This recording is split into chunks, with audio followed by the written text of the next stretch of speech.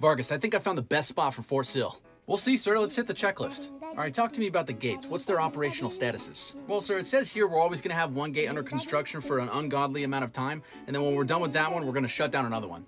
I love that for them. All right, let's talk about the demographic of soldiers on post. Is it just going to be like regular, normal soldiers? Yeah, sir. List says here that we have a few regular soldiers, a few foreign soldiers, a lot of AIT soldiers, and a ton of Marine recruit AITs that think they could beat up everybody. Okay, cool. Yeah, they probably can, but how does that demographic affect everyone else? So the list says here that they're going to crowd every single restaurant outside the base, and uh, also they're going to walk and talk on their cell phones all the time. That's a good point. Let's talk about restaurants. Do we have any good ones? Sir, it says here that there's a ton of bad restaurants, but three good ones. We have Milano's, Bricktown, and Los Tres Amigos. All right, the spouses are going to want to know. IKEA, three hours away in Dallas. Target? Yeah, we have one. Hey, that's a big win, but we can't give them too many wins. How about the closest NHL team?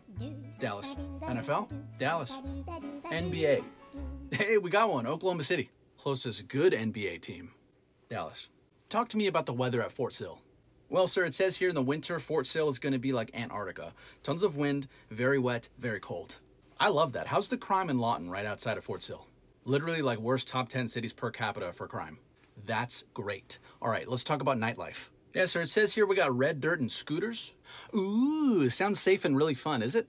Let me check. No. What are employment options looking like for spouses? They either work at B-Dubs or Texas Roadhouse, sir. There's no other options. Cool, cool, cool. All right, Lawton sounds perfect. Start building Fort Sill today.